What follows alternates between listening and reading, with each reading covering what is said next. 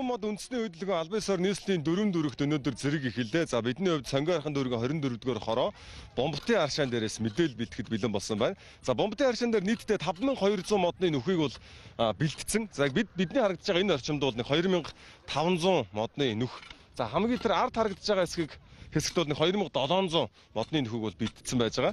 Тэгээ өдөрт нэг 9 төрлийн байгууллага ирээд энд бол өөрсдөө хуваарлж авсан хэмжээгээр модоо тарина. За танайха одоо хичнээн мод тарж байна.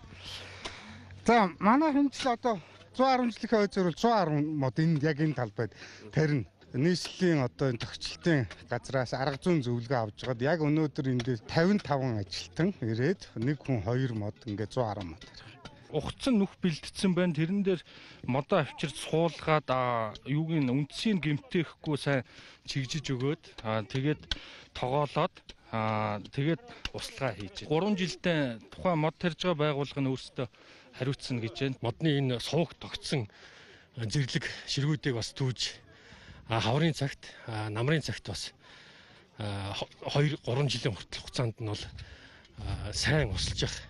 А 2 3 жилийн дараа бол хөрсөндөө тасаад өөрөө ингээд ургаа явах тийм боломжтой гэж. 2 7 хоногийн өмнөөс урьдчилсан тодорхой зааварчилгааг өгсөн.